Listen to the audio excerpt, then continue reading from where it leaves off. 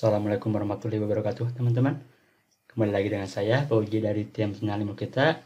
Di video kali ini saya akan membuat tutorial sederhana Dengan menggunakan bahasa pemrograman sisap Yaitu validasi jumlah karakter yang minimal pada textbook. Saya akan contohkan. Misalkan sini. Ini untuk contoh kosong ya. Kalau tidak diisi Pas di submit Maka muncul pesan kolom inputan harus diisi.